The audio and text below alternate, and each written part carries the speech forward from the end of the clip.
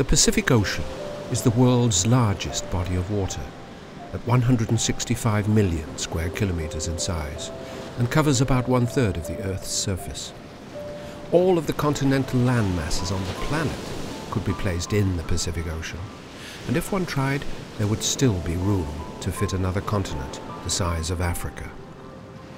Slicing the floor of the Pacific are canyon like trenches or deeps that have an average depth of over 4,300 meters, but the rest is largely an underwater plain.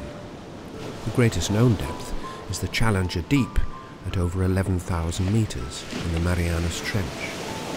Rising from the plains are swellings, many of which are volcanic seamounts. The extensive Albatross Plateau covers most of the southeast and east central Pacific basins. The Pacific Ocean is a world of its own. On the surface, one can experience the optical phenomenon known as the green flash that occurs shortly after sunset for no more than a second or two above the disappearing sun. And beneath the vast blue sea are animals and other organisms that contribute to the hoped for balance in the ecosystem. The coral reefs are rich in life, providing a home for 25% of all marine species and are often referred to as the rainforests of the sea. The Great Barrier Reef off the coast of northeastern Australia is the largest coral reef in the world at over 2,000 kilometres long.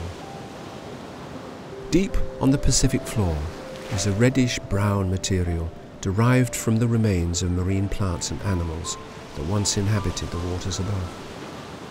Climate change occurs when long-term weather patterns are altered. And although this is a natural cyclical occurrence, human activity has hastened this process to our ultimate doom. Changes under the surface of the deep blue sea are not easy to observe, but the effects of industrial fishing, pollution and climate change are having a major effect on our oceans.